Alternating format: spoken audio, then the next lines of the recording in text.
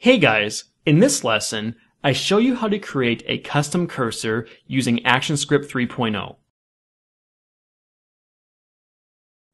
Since this is my first official ActionScript 3.0 tutorial, I thought I would keep it pretty simple.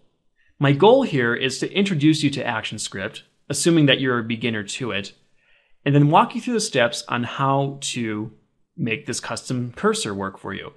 Now, along the way, I will be explaining to the best of my ability what the ActionScript is doing. That's pretty much my goal for this lesson. So while it's simple, it should be informational, especially if you're new to ActionScript. So to get started, please open up a new ActionScript 3.0 document.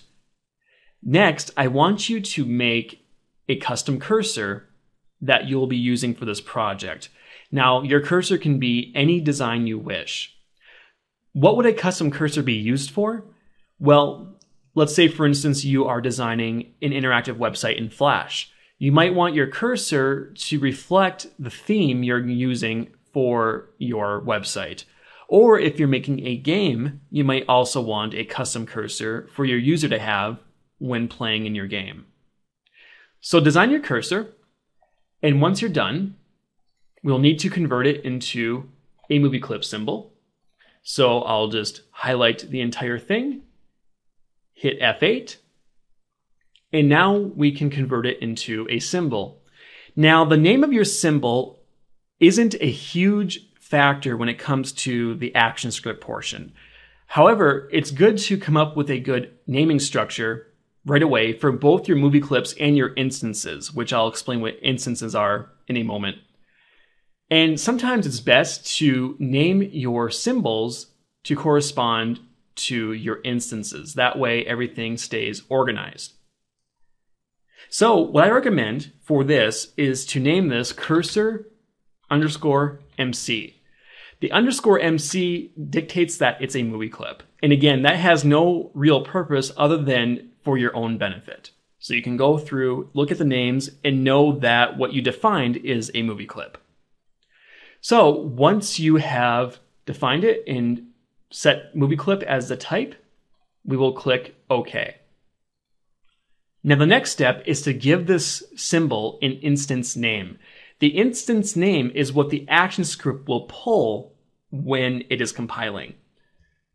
And it's also what you'll refer to in the ActionScript. So again, for this demonstration, I will name the instance name the same as the movie clip, just so there's no confusion. Once you have named your instance, we need to make a new layer for the ActionScript. Now, with ActionScript 3.0, you cannot place ActionScript on the objects. And the reason why I say this is because it was different in ActionScript 2.0. I know ActionScript 2.0 is a bit old now, but I know there's probably people out there who still use it.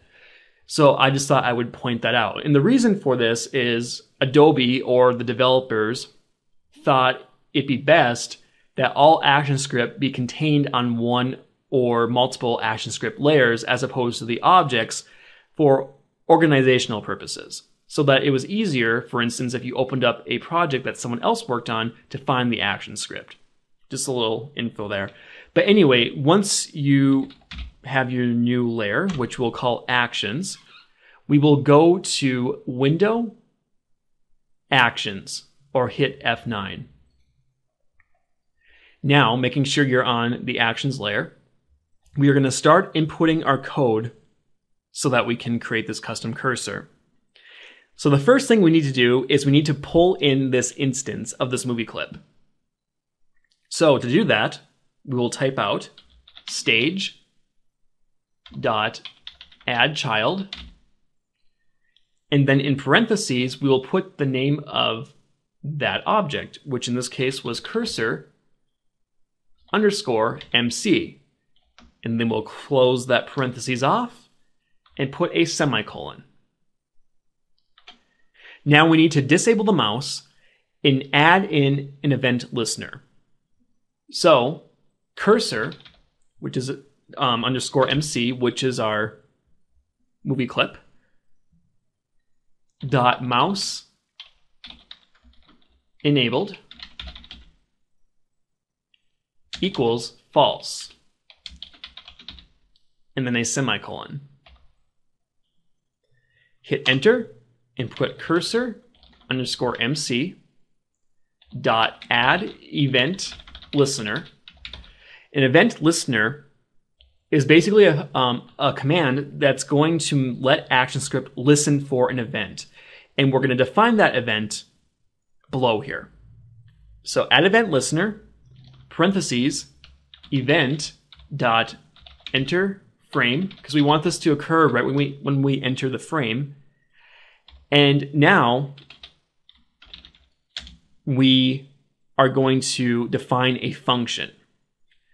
This event is listening for this function. So we'll put FL, just to name it, to give it a definition here, custom mouse cursor. Now, you can name this again whatever you want. It's like an instance name. You're basically naming a function. You can name the function whatever you want. It's just Flash seems to at least when you look at some of the help files, it seems to put fl underscore and then the name of the function. Again, it's kind of like putting an underscore MC. Just kind of helps you look at the text and figure out what you're looking at. And as far as custom mouse cursor, you can definitely shorten that. Again, I'm just kind of spelling this all out in as much detail as I can, just so that you get the hang of this. Okay, I'll double space here just to give us some room and to organize this a bit.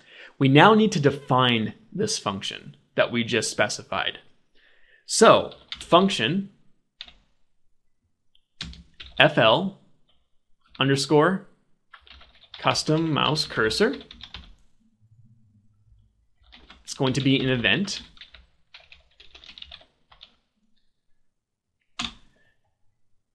And you'll notice once I put that code in, that Flash actually has imported that command so that the ActionScript knows what's going on now. A function is always defined in brackets. So we need to create a bracket.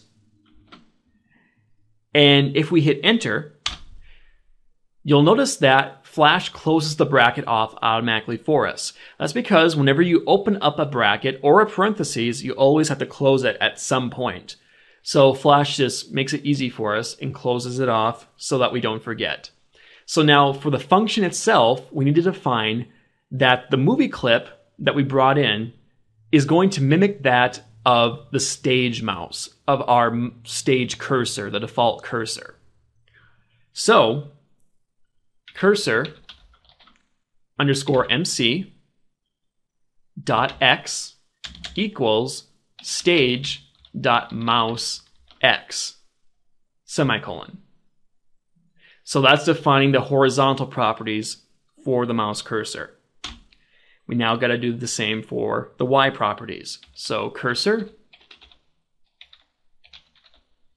underscore MC dot Y equals stage dot mouse y semicolon. That will end the function. So that function is now complete. When doing more advanced programming, you might have functions that go on for quite a while and have multiple bracket sets. But for this case, it's a very simple function. The final thing we need to do is hide the mouse, the default mouse from view. So mouse dot hide and then two parentheses and a semicolon. And that should be all the code you need to create this custom cursor for your project. So let's test it out.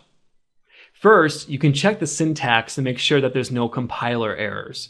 If you click this, It'll go through and you can click on compiler errors to see if there are any warnings or errors, and it appears there are none. So everything should probably and hopefully check out. Once you've done that, go to Control, Test Movie, Test, or Control Enter. So now, once you place your cursor into the window, your custom cursor should take over the function of that cursor. And as you can see, It does for me.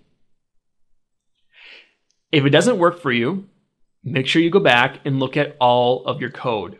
Make sure you have no errors or typos. That is very common. Make sure that you define the instance properly. Make sure once you define the function that the same name applies when you call the function and then when you define the function, make sure that that same function name is the same for both of these. Also, you'll notice that whenever I put in a command like false, mouse enabled, add event listener, that the text changes to blue. You can adjust the colors and such in the ActionScript panel, but if you have it on default, it should turn blue. So make sure that these are turning blue if you're having an issue. And if all else fails, you can always just double check your work by looking at my example here. Anyway, that wraps up this ActionScript tutorial. I have more coming up. I hope you guys found this helpful, and I'll see you next time.